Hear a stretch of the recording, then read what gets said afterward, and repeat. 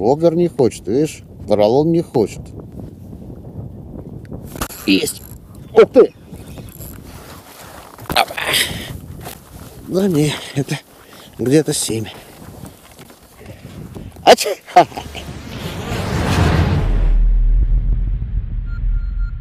Несколько дней назад Кирилл позвонил мне э, и предложил э, очередной раз закрыть сезон. Надеюсь, последний.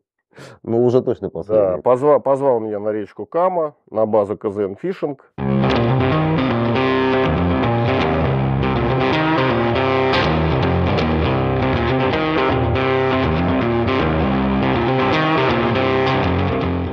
Выяснили, что клюет у нас здесь сейчас щука.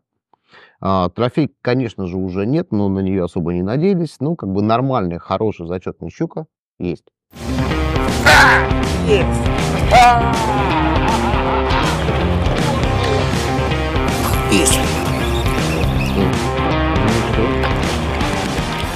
Первый день мы поехали на щуку. Уже сразу гарантированно посмотреть, что к чему. Начались интересные моменты. Щука игнорировала, а, крупные приманки. Мы с панопцем смотрели, что происходит. Вся щука жрала тюльку.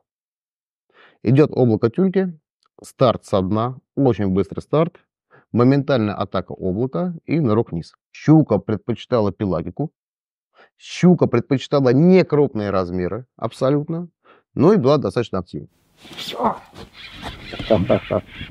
Сработало. Она экспериментировать начал. Начал экспериментировать. Серенок. Отвалился. И что ты начал экспериментировать? А я начал делать как? Я подумал, что ее надо... Она же медленную хочет, Ну, э, но в то же время ее спровоцировать надо.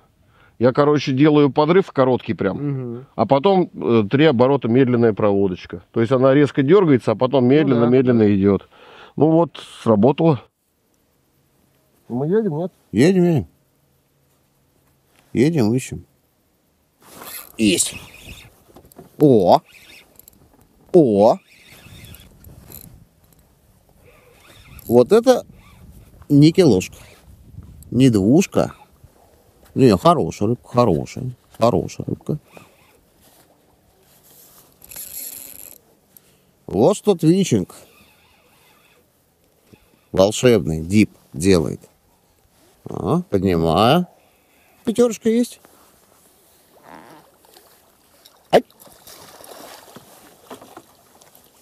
Ать. Оба. Посмотри, отцепилась. Прям повезло. Да. Деда Сквирл 115. Творит чудеса. Взяла сзади очень аккуратно.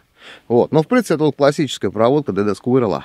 Мягкий-мягкий твич. Обучалку я, наверное, вот за эту поездку сниму. То есть посмотрите разную рыбу на DD Squirrel. Именно обучалку, как твичить глубинниками с большой лопатой. А, собственно говоря, что, ну, все, хватит. Показали, побаловались. Домой. Первый день мы поймали что-то хвостов 9. Из них нормальное это там 5 плюс-минус, ну, может, там 6, не знаю, в этом размере примерно, жаба. А Вот, трешка, все остальное как бы мелкое, окунек на полкило, ну и два судачка. Я до нее даже не добросил. Ну, прям в нее... прям- А, вон она что-то поднимается. Ага, идет, идет сейчас. Так, есть. Да, да, Ну, хорошенькую. прям красиво на панелке. Ага. Так, пассаж нужен? Сань, А? пассаж Да, нужен? нужно. Вот смотри, вот, вот мои размеры, видишь? Угу. Давай сейчас посмотрим, какой. Я думаю, что это 3-4 килограмма. Ну, я тоже думаю так.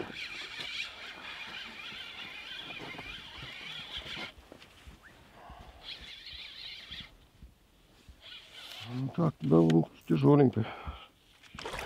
Так и есть. Трешечка? Да, где-то около трешечек. Да, да, да. Я возьму. А? А? Ну, А? ровненько, три с полтом, наверное, где-то. Да, да. Ну вот, вот, да, вот. Вот мы видим таких Да. здесь. Часа два стою, выходы какие-то есть редкие. Иногда проводишь мимо, ноль эмоций, поролон. Обычной проводкой. Сейчас решил сделать... А, Кирюха ловит воблером, медленной-медленной проводкой. Я решил поролоном сделать прям вот тоже медленную-медленную проводку. Сработало, среагировало. Причем все было видно паноптик. Ну, такая не сильно крупненькая, но приятная. Особенно, когда не клюет. В чем самый интересный момент вот этой рыбалки? Сегодня 19 ноября. Вот только сегодня температура ночью опустилась до минус 10. Мы утром выходили, было минус 10. Днем было минус 3. То есть надо понимать, что в этом году зима сильно-сильно задержалась, и поведение рыбы абсолютно, с одной стороны, для осени нестандартно, с другой стороны, наверное, оно и нестандартно для начала зимы, когда встает только лед. Вот, поэтому приходится импровизировать.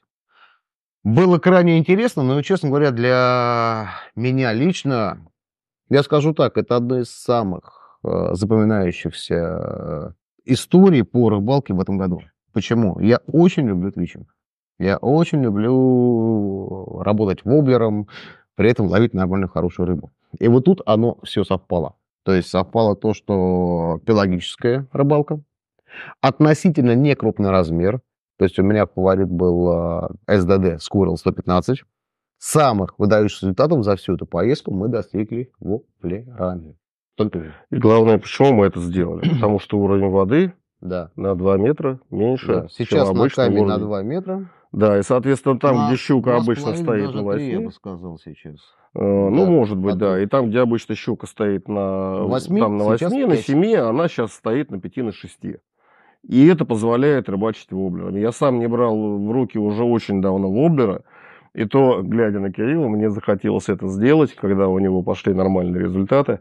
Ну, я, я взял, я, я взял в руки. Да, мне просто вспомнить захотелось. Действительно, вот зачесалось старое, там, вспоминая там наши былые подвиги ну. на, на воблеры.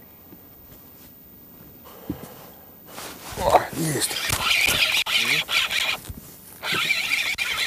Давненько скучно не было. Ага, вон она вышла, блин, на глиссер. Маленькая. Наверное, там два с полтом есть. Алехандро поставил воблер. Кое-то веки. Кое веки. Кое веки, я бы сказал, Саша. Клюет на воблер. Да нет, даже с полтом нет. Да. Около двушка. Двушка. Ну, поймал же. Поймал. Дип, твичинг рулит. Соскучился я маленько по твичингу. Решил вспомнить. Тем более, что у Кирилла хотя бы она как-то реагирует на воблеры. И как-то клюет. И как-то клюет. А на поролон, силикон как-то она не особо хочет. Поэтому вот. Вспомним молодость. Давно я на твичинг. Как это? Давно не брал я в руки шашек, да? Второй день был самый Самый, провал, самый провальный. Самый провальный. Несколько поклевок. Нет, леща мы нашли в большом количестве. Под ним пытались найти судака. Какие-то поклевки у нас там были, но результата никакого не было. День. Пока на третий день не ударил мороз. Поймали немало, ну тоже, наверное, хвостов 9. Но рыбу мы поймали. Опять в основном это воблер. Сашка, по-моему, умудрился уже на мелкий поролон с максимальной переоблегченкой тоже поймать несколько хвостов, причем самый большой у него как раз и была тревка. А, Рыба? Да. И вроде так поинтереснее, чем Кирюх, подсачек. Маленько поинтереснее.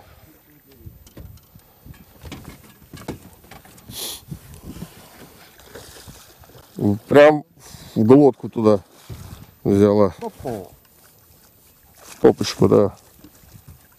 Оп. В домике. Красавчики. И взял, это нормально. Ударчик такой четкий, жесткий. Бунк. Есть. Опробовал все свои крупные приманки, которые хорошего результата не дали, стал использовать мелкие, и пошли какие-то результаты. На маленького стрима 8,5 сантиметров и на червяка 14 сантиметров поклевок стало значительно больше.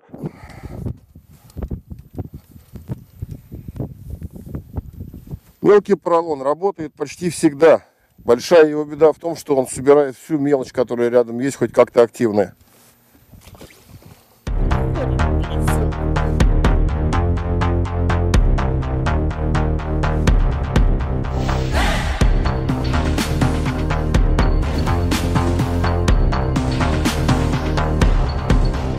Да? Сошла. Блин, сошла. Сошла, сошла, сошла. Ну, Хорош ну. была. Сегодня ночью ударил мороз. Последний день мы приходим, а щуки-то в количестве и нету. То есть, если до этого мы проходили, видели стоящую поднятую щуку, неподнятую щуку, но в основном это были очень небольшие размеры, сегодня туда зашла более приличная как бы мамка. Ну, вот то, что поймано, это в районе семерки. Логар не хочет, видишь? Поролон не хочет. Есть! Ух ты! Смотри, как башкой-то машет. Это процак, Андрей.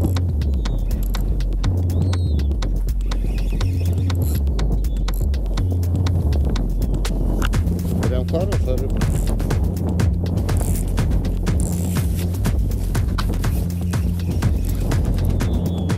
Да. Зачет. Так, вот.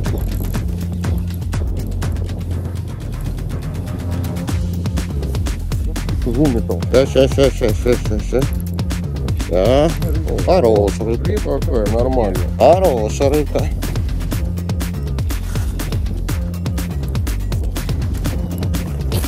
Шесть. Ать. Только что пожаловался, говорю, воблер не хочет, поролон не хочет. Вот не захотела воблер. Да не, это где-то семь. Ать. Семерка есть? Мне тоже кажется. По снастям, а, потому что вопрос вы постоянно задаете, чем ловите. Значит, у меня было три удилища, как всегда. Это скальта 752H, это под э, тип, э, под твичинг, э, deep twitch. Это Kanda X 792H с тестом до 70 грамм, 16,70. И это бигбейтный диктатор до 180. Ну вот. В 90% случаев я ловил на скальт. И ловил я Super DD Squirrel а, 115. С заглублением формальным до 4 метров. В реальности, в зависимости от течения, а, дальности заброса, глубина варьируется от 3,5 до 5 метров заглубления. Я брал с собой два спиннинга. э, Один Experience э, 1245 э, с Twin Power 21 года. И второй э, Experience до 80 грамм с Twin Power, тоже PG 15 года. И упирался, конечно, я в э, поролон левша НН, э, и в крупный, и в мелкий. Что могу сказать про себя? Ребят, я оторвался. Вот такого, такого кайфа от воблерной рыбалки я не получал давно. Джиг, бигбейт, все хорошо, красиво, я тоже все это люблю. Но вот именно ловля воблером, когда ты никогда не знаешь, что у тебя сядет, вот это может быть килошка, а может быть 6-7. А вот, больше вот в этот раз не села. А вот. И вот эта проводка выверенная, это выверенная сила удара, это учет э, направления ветра, чтобы сделать правильную проводку, если ветер боковой. В общем, это сложно, но это крайне интересно. Соблазнить рыбу именно вот на а, пластиковую буратинку. А мне интересно было сравнить работу поролона и воблера в одинаковых абсолютно условиях, в, ну, в одинаковых направлениях, мы же прям вообще рядом работали. Да, и э, ну вот такой интересный результат, э, несистемный. То есть то воблер прям вот лучше сильно работает, чем поролон, то поролон э, выиграет перед воблером. Ну вот на поролон, правда, в целом рыба помельче была, чем на воблер. Тут э, Я надеюсь, вам понравился, я надеюсь, вы чего-то для себя нового узнали. Ни хвоста, ни чешуи, натянутых лесок, положительных эмоций. И не важно, какого размера рыба. Главное, чтобы эмоции были положительные. Ну и увидимся на воде. это точно. Всем пока. Всем пока.